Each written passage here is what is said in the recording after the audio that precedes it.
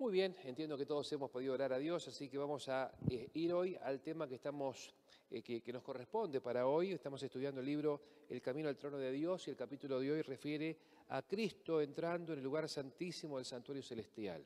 Estamos viendo todos estos días que el santuario es el lu- lugar donde Dios gobierna el universo, ¿sí? Es la casa de Dios, el palacio de Dios, y desde ese lugar el Señor, este, Dios y Jesucristo dirigen el plan de salvación. En esta oportunidad vamos a ver cómo Cristo entra en el lugar santísimo del santuario celestial, que tiene dos lugares principales, el lugar santo y el santísimo, y cuál es la tarea que Jesús desarrolla en el lugar santísimo. La profecía predijo el momento exacto en el que Cristo entró en el primer departamento del santuario celestial, el lugar santo de ese, de ese santuario. Daniel capítulo 9, versículo 24 nos dice que justamente en un momento el Señor, bueno, entró en el lugar santo del santuario para comenzar su obra de intercesión, pero también así como se predijo el día cuando Cristo entró y se inauguró el santuario, su ministración por sus hijos, y en ese mismo día el Señor derramó su Espíritu Santo, según dice Hechos 1, sobre la iglesia, bueno, también la Biblia predice el lugar y el día cuando, porque este era un tiempo todavía futuro.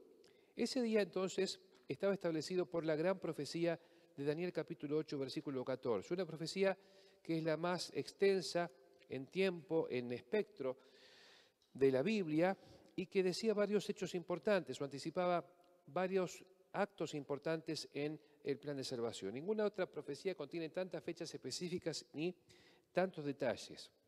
Esa profecía, por ejemplo, nos dice cuál 7 semanas y 62 semanas y se volverá a edificar la plaza y el muro en tiempos angustiosos. Así que vemos aquí el puntapié, 457 antes de Cristo, la orden para restaurar y reedificar Jerusalén. Pero también anticipaba aquí que después de siete semanas o de 49 años, el muro sería reconstruido. ¿Sí? También se anticipa en esta profecía el momento cuando Cristo sería bautizado, cuando Cristo comenzaría su ministerio como Mesías. Fue Jesús de Nazaret, carpintero, hijo de José, por 30 años. Pero un momento fue que Dios lo designó o lo ungió para que, o lo autorizó para que comenzara su ministerio como Mesías. Eso también era anticipado en esta gran profecía. También un detalle importante era el momento cuando la nación judía sería rechazada como, como nación misionera y esa autoridad o esa responsabilidad pasaría a la iglesia cristiana. Eso pasó al fin de estas 70 semanas en el año 34 después de Cristo. Bueno, todo esto nos lleva entonces al momento cuando comenzaría el juicio de Dios, el juicio previo al advenimiento en el cual Dios va perdonando los pecados que han sido confesados en su nombre. 1844 es la fecha, ¿sí? El día de la expiación para ese año era el décimo día del séptimo mes, según el calendario de los judíos más cuidadosos. Los judíos caraítas ese día fue el 22 de octubre de 1844 y ese día entonces comenzó el proceso por el cual Dios eh, perdona los pecados confesados de sus hijos de todos los tiempos, yendo por orden de los que han vivido sobre, sobre esta tierra, sobre este mundo. Otra característica de esta profecía es que también este, nos revelaba el momento cuando Cristo daría su vida en rescate por, por las personas. Estamos en Daniel capítulo 9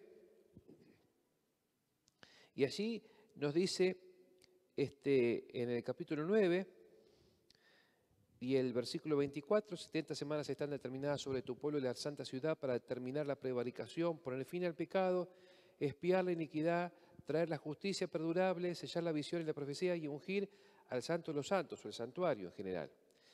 ¿Sabe pues se entiende la que desde que se dé la orden para la restaurar y edificar a Jerusalén hasta el Mesías príncipe, habrá siete semanas y 62 semanas se volverá a edificar la plaza y el muro en tiempos angustiosos. Después de las 62 semanas se quitará la vida del Mesías, mas no por sí. Y el pueblo de un príncipe que ha de venir destruirá la ciudad y el santuario, y su fin será con inundación, hasta el fin de la guerra durarán las devastaciones. Por otra semana confirmará el pacto con muchos, y acá el detalle importante que quiero citar acá. A la mitad de la semana cesaría el sacrificio y la ofrenda. Se anticipaba aquí que en la última semana de esas 70 que estaban enfocadas en el pueblo hebreo, en la última semana de años, ¿sí? en la última semana de siete días, a la mitad de esa semana se salía sentido del sacrificar ofrendas y corderos, porque Cristo, el Cordero de Dios, sería sacrificado y ya no tendría más sentido seguir ofreciendo sacrificios, porque Cristo ya habría dado su vida por el pecador. Muy bien.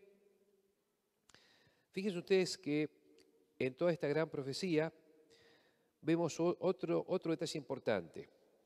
Al comienzo de esta gran profecía, 457, se da la orden para restaurar Jerusalén y entonces una gran congregación de hombres, mujeres y niños parte de Babilonia para poblar Jerusalén.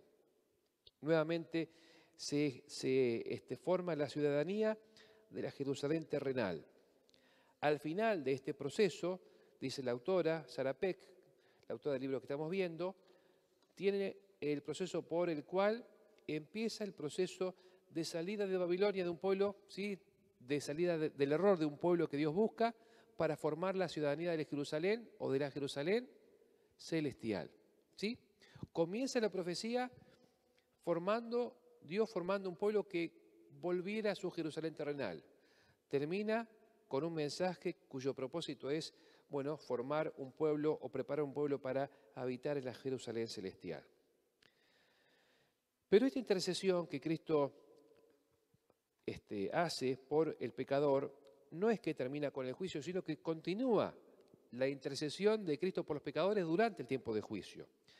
La autora dice que así como el sacerdote terrenal en el día típico del juicio oficiaba en el atrio y el lugar santo como intercesor, así como en el Santísimo, también Cristo como juez, nuestro sumo sacerdote celestial, durante el juicio real, actúa tanto como juez como como intercesor, continuando su obra de presentar sus méritos en favor de los pecadores. No es que Jesús es juez y deja de ser intercesor.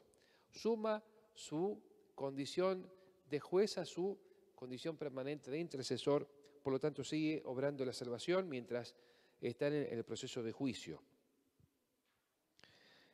Bueno, y entonces, según la Biblia eh, nos dice en Daniel capítulo 7 y otros pasajes en Apocalipsis, cuando el reloj del Señor marcó el fin de los 2300 días y el momento del inicio del juicio, entonces Cristo ingresó al lugar santísimo para comenzar su obra de juicio. Ahí se trasladó para empezar otra fase importante del plan de redención. Bueno, 1 Juan capítulo 2, versículo 1, presenta a Jesús como, como el abogado, nuestro abogado, a la vez que como nuestro juez. Él presenta sus méritos en favor de nuestros, de nuestros pecados, cubre nuestra vida con su salvación, con su manto de justicia, y entonces podemos pasar por ese juicio cubiertos por su gracia y por, los méritos que Él presenta en nuestro, en nuestro favor. Hay varias escenas que la Biblia presenta describiendo y contando cómo fue el ingreso triunfal de Cristo a la sala del juicio. ¿sí? Por ejemplo, una de esas poesías bíblicas que nos habla del ingreso de juicio, del ingreso de Cristo a la, escena de juicio, la encontramos en este, Daniel capítulo 7. Capítulo 7, versículo este, 14, vamos a ver allí que hay una, este, bueno, desde el versículo 10, capítulo 7, versículo 10 de Daniel, un río de fuego procedía, salía delante de él, millares, millares le servía, millones de millones asistían delante de él. El juez se sentó y los libros fueron abiertos.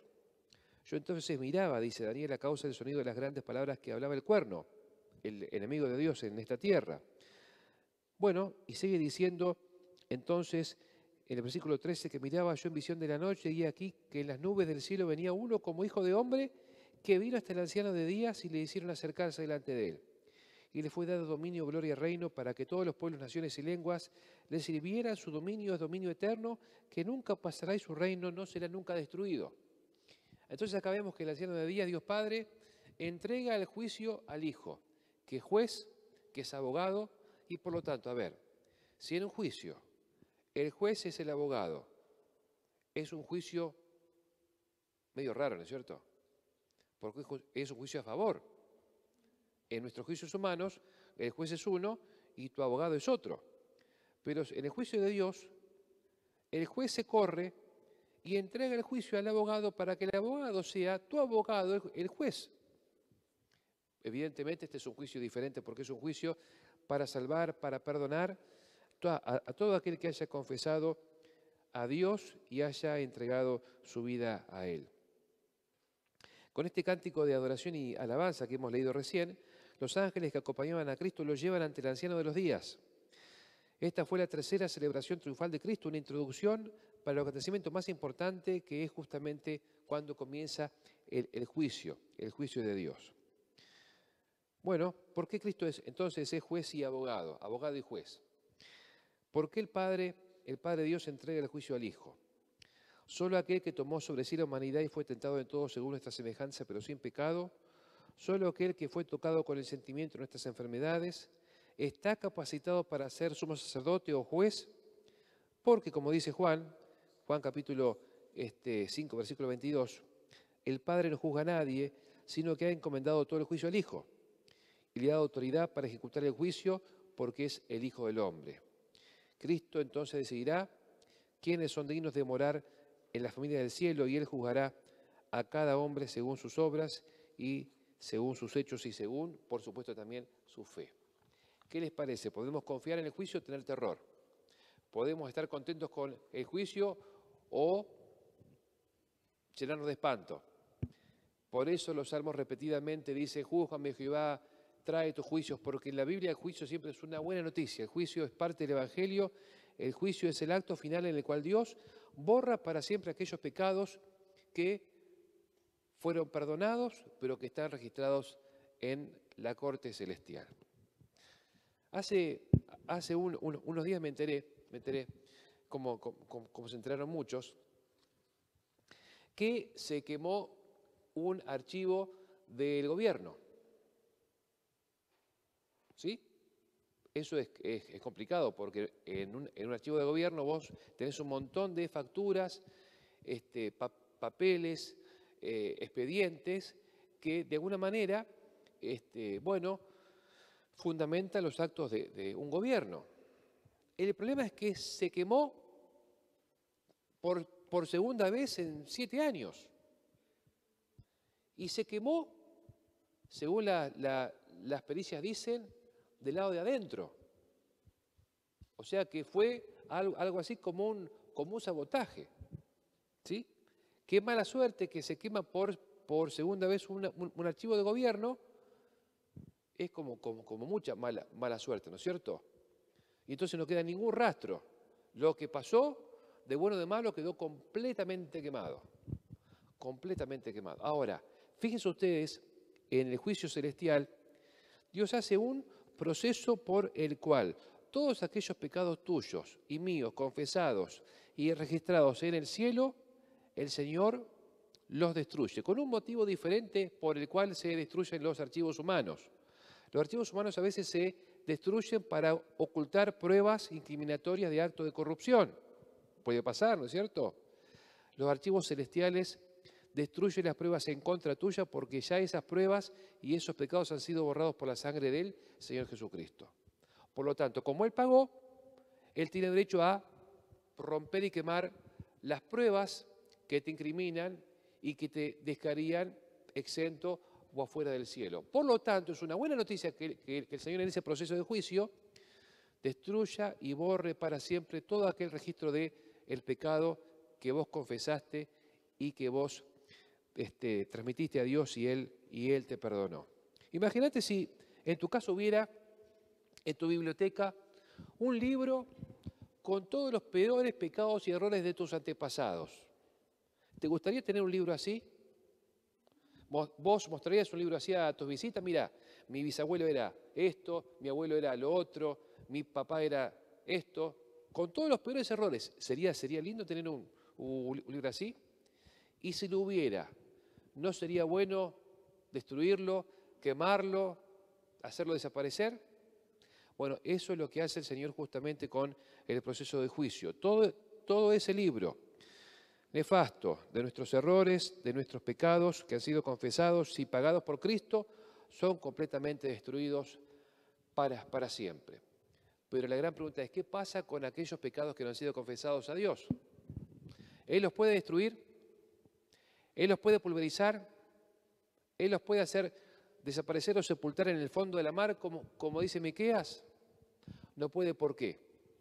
Porque no fueron confesados y el, ser humano en uso de su libre voluntad y libre albedrío no se los entregó al Señor para que Él perdone, cubra y destruya ese pecado. Por lo tanto, hay, hay pecados que serán destruidos y borrados y otros que no podrán serlo y cada cual decide qué pasará con mi pecado. ¿Se lo entrego a Cristo para que lo perdone, lo borre y hasta elimine el registro de Él? ¿O intento engañar a Dios y al ser humano para que al final de los días ese registro figure en contra mía. Bueno, creo que a todos nos sirve, nos conviene y nos, nos alegra el hecho de que, de que, el Señor en su juicio esté en este momento y desde 1844 hasta que, hasta que cierre el tiempo de gracia, en esa tarea de borrar, borrar y limpiar todo registro del santuario para que entonces podamos nosotros estar en la vida sin fin, felices y contentos. Y, que nadie piense que cuando estemos en el cielo, alguno nos, nos va a decir, vos, ¿qué haces acá? Si acá dice esto y lo otro. Eso no será posible porque el Señor va a borrar y limpiar todo registro y en eso está ahora por su gracia y por su misericordia.